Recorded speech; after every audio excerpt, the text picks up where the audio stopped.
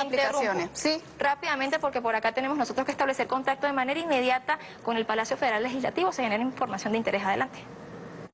que viven con tanta ilusión y emoción estas fechas navideñas, estas fechas decembrinas, y que la paz, la alegría, la prosperidad reine sobre todos los hogares de nuestra Venezuela. Acaba de culminar una muy fructífera reunión entre los representantes de la Comisión Especial de la Asamblea Nacional para la Paz y la Reconciliación Nacional. Fue una reunión de trabajo para hacer un balance, un necesario balance, que eh, generalmente estas fechas son bastante propicias para que podamos evaluar el trabajo realizado, el trabajo que surge de lo que ya se hizo y también las cosas que quedan por hacer. Ha sido un año muy fructífero, un año de profundo despliegue de esta Comisión para la Paz y la Reconciliación, que nos hemos reunido con todas y con todos, que hemos buscado que las voces de las venezolanas, de los venezolanos, independientemente del cariz ideológico que representaran, pudieran tener un espacio para ser escuchados, los cultores, las universidades, las religiosas, los religiosos, los eh, integrantes de organizaciones para las- de la sexodiversidad, los representantes deportivos, los campesinos, todas y todos los empresarios fueron escuchados por esta Comisión de Diálogo y Reconciliación Nacional.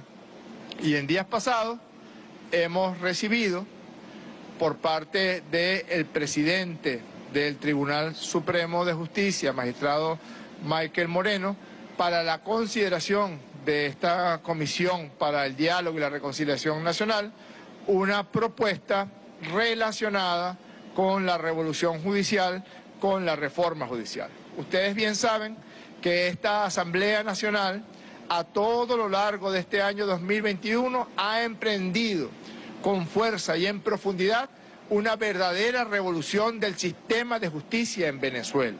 Una verdadera revolución que permita a las ciudadanas y a los ciudadanos, independientemente de donde se encuentren en el territorio nacional e independientemente de su condición política, económica, social, sentirse más amparados, sentirse más defendidos por los derechos que le consagra la Constitución de la República Bolivariana de Venezuela.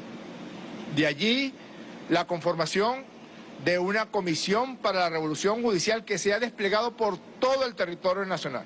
Esta comisión que preside mi hermano, el diputado Diosdado Cabello, ha emprendido un proceso profundo de estudio, de conversación, de escuchar a todas y a todos los involucrados.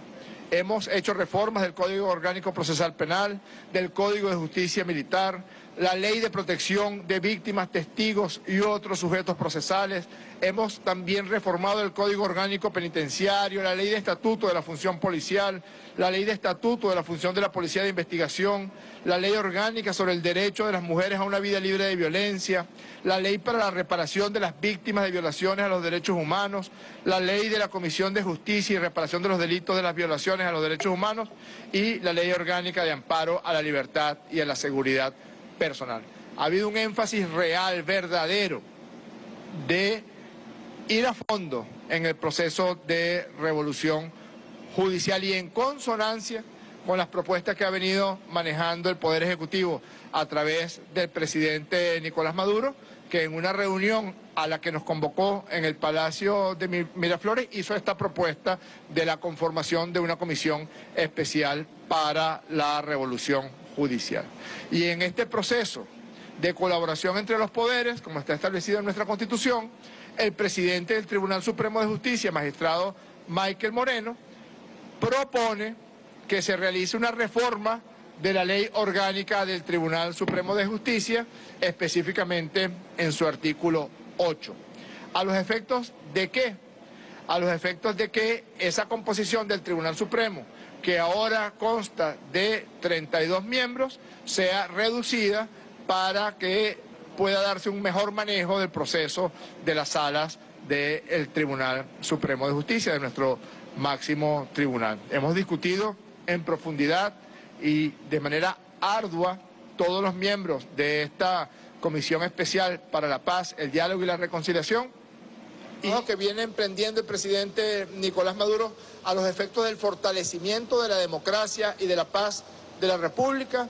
Debemos ir a fondo en la reinstitucionalización del sistema de justicia en Venezuela, en la profundización del el respeto a los derechos humanos de las venezolanas y los venezolanos y en la profundización de la democracia y la paz. Lo decía Benito Juárez, el respeto al derecho ajenos, al derecho ajeno es la paz. Y ha sido este un año de fortalecimiento y consolidación de la paz de la República. De manera que hemos acogido con beneplácito la propuesta que hiciera el presidente del máximo tribunal y estamos convocando para el próximo día, jueves 30 de diciembre, a una sesión extraordinaria de la Asamblea Nacional de Venezuela a los efectos de iniciar la discusión para la reforma de la ley orgánica del Tribunal Supremo de Justicia. Y esa reforma, en caso de ser aprobada, disparará, por supuesto, los procedimientos necesarios para la escogencia del número de magistrados principales y suplentes que sean establecidos en esa ley. ¿A qué me estoy refiriendo? Me estoy refiriendo a que al reformarse la ley y se establezca un número X de magistrados de las cinco salas y la sala constitucional, pues se arranca el proceso que también le corresponde a la Asamblea Nacional de escogencia del comité de postulaciones para que los magistrados principales y suplentes de este nuevo tribunal que se derive de la reforma, pues sea escogido según como está establecido en nuestra Constitución. Entienda, sepa, comprenda el pueblo de Venezuela que vamos a fondo en este proceso de reinstitucionalización de las instituciones democráticas de la República Bolivariana de Venezuela y que todo sea para profundizar en los derechos humanos que la constitución más progresiva de este continente consagra. Muchísimas gracias a todas y a todos. Bien, escuchando declaraciones del presidente de la Asamblea Nacional, doctor Jorge Rodríguez, quien informaba que han recibido esta Comisión para el Diálogo, la Paz y la Reconciliación Nacional una propuesta del Tribunal Supremo de Justicia para reformar esta ley que permita la reducción de los 32 eh, magistrados que conforman los máximos tribunales del país. Esto en el marco de profundizar y reformar la tema judicial venezolano que se ha venido avanzando desde la creación de la Comisión para la Revolución Judicial. Es la información que nosotros podemos aportar a esta hora del Palacio Federal Legislativo y con ella retornamos el contacto informativo. Adelante.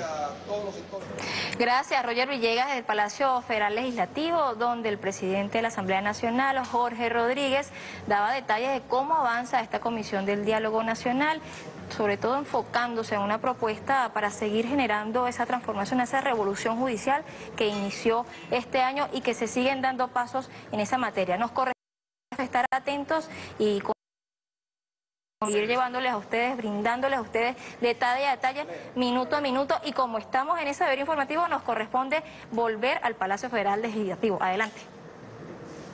Porque avanzamos en el proceso de reinstitucionalización de la justicia venezolana, que el sistema de justicia debe ser y será aquel que los venezolanos merecen, que podrá, una vez que oigamos a todos los sectores interesados en la materia, con estricto acatamiento a las disposiciones legales, contar eh, en un futuro pronto con un sistema de justicia mucho más allá incluso de la reforma planteada por el presidente del Tribunal Supremo de Justicia, de tal manera de que tengamos un país con una democracia mucho mejor de la que hoy ya disfrutamos.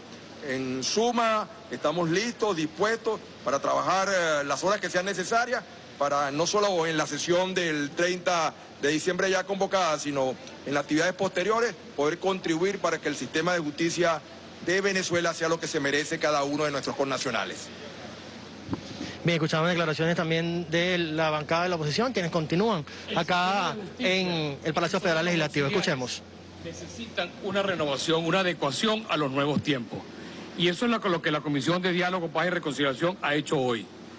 Tratar de humanizar y tratar de poner al alcance de la mano del ciudadano que la justicia sea accesible para todos, modernizarla, adecuarla, adecuarla a nuevos tiempos Eso incluye pasar por todo lo que es el sistema de justicia con sus órganos auxiliares.